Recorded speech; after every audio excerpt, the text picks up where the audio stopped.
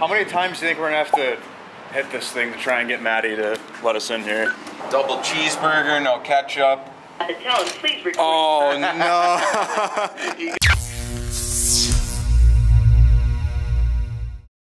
what happened to your head the other day? Oh, Oh my god! Look at it. Your nails. that's what happens when you go into corners, buddy. I'm not a big corners guy. I we don't know. know. Can you fold this? This is his third. This is his third time trying to fold it. Okay, wait. Try one more time.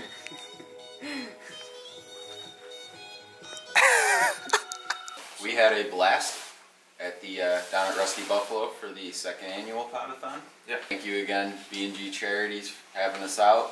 Ron, you're the man. It was a blast hanging with Nate Geary, Trainwreck, all those guys as always. The big news is we're dropping the spring line on May. So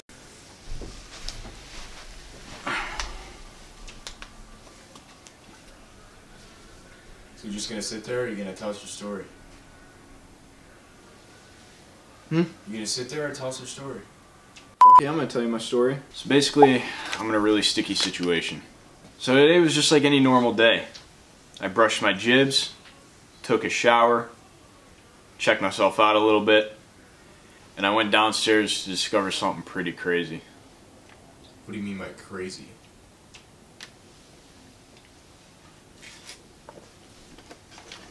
Crazy.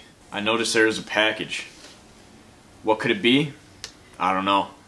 I didn't know whether to unbox it now or to unbox it later. In a situation like this, you never know what it could be. It could be it could be an explosive device. It could be a wild animal.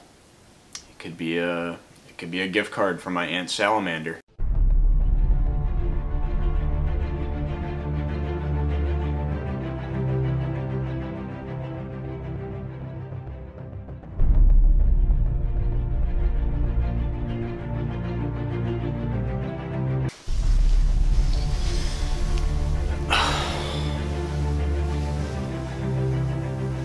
It has been 43 days since this package arrived at my doorstep.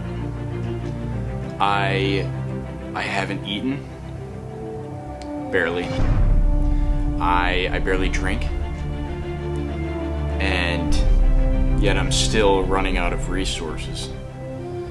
Now, do I open it? Everyone I know has told me to open it but I like to go against the grain. This time, I think I'm gonna let it slide. I think I'm gonna open it.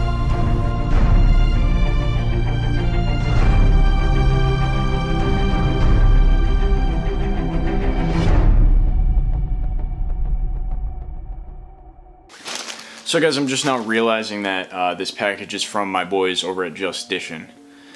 Um, so these past 43 days of me torturing myself has not been worth it. So that's that's good. Now if you're new here, I don't want to scare you off. Welcome to the world of Just Dishin, where where where every everything is is just is just is just dishing. Now I don't want to talk too much and take up any more of your time. So let's see what's inside. Guys, the first product. Look at this. Holy my god, it is warm. You guys don't know how warm this is gonna keep me.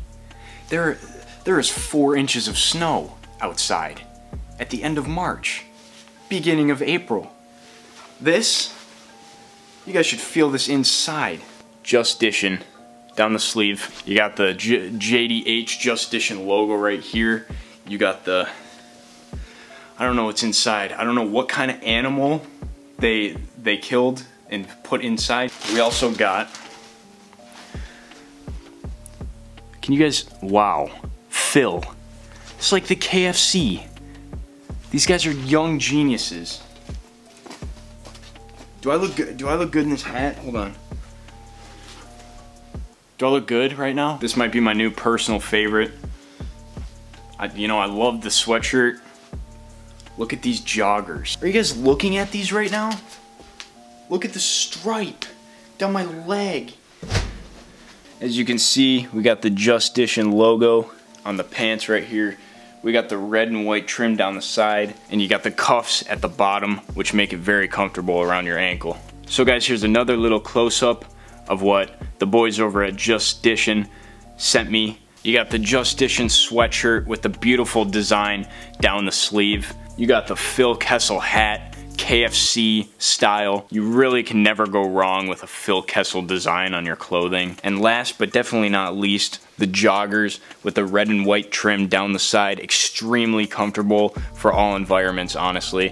I'm gonna be wearing these almost every day. All right guys, if you're a hockey player, a hockey fan, a hockey coach, a hockey, a hockey scoreboard, scoreboard guy. You guys will love this clothing. You will love everything about this company. This clothing is top quality, very comfortable for all sizes and all genders. So thank you so much to the boys at Just Dishin for the package and uh, Lose for Hughes.